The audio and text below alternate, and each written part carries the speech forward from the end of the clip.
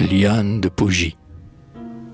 Souple liane de Pougy, l'autre soir quand vous apparûtes, comme nos désirs ont rugi devant votre Altesse, les brutes.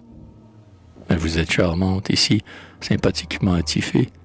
Encore, ce n'est rien ceci quand on songe à vos doigts de fée. Car vos doigts, ces brins de jasmin, faits pour l'amour et les caresses, jouissent d'un pouvoir surhumain et nous convient à quelle fête. Entre vos doigts menus, menus, les objets naissent, disparaissent. Qu'est-ce qu'ils sont donc devenus, disent ceux-là qui s'y connaissent.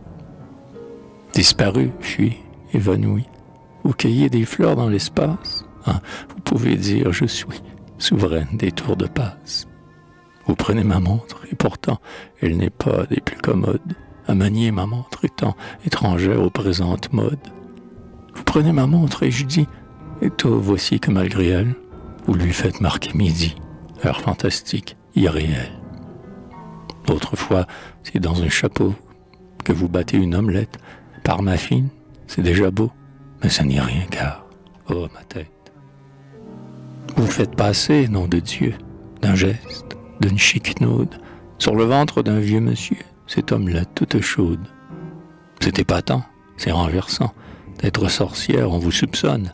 Et qu'allez-vous faire à présent? Avec cette jeune personne Vous la couvrez d'un voile bleu et lui dites Passez muscade.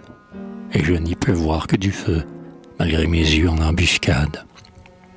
Elle passe dans un instant. Enfin, au miracle suprême, inconcevable, exorbitant, vous vous escamotez vous-même. Vous pourriez, tant votre pouvoir est hyperbolique et magique, faire le ciel rire ou pleuvoir, changer des astres la musique.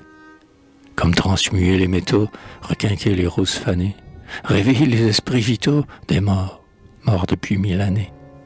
Faire trois rubis cabochons avec deux pépins de pommes, ou bien encore deux cochons avec simplement un seul homme. Vous semblez dominer sur tout, pourtant cette puissance folle ne saurait atteindre partout, car pour ce qui est de ma fiole, je doute fort que vous puissiez, prestidigitatrice blonde, malgré le diable et ses huissiers, m'escamoter une seconde. Non, entre vos si jolis doigts, plus léger dix fois qu'une plume, loin de disparaître, je crois que j'augmenterai de volume.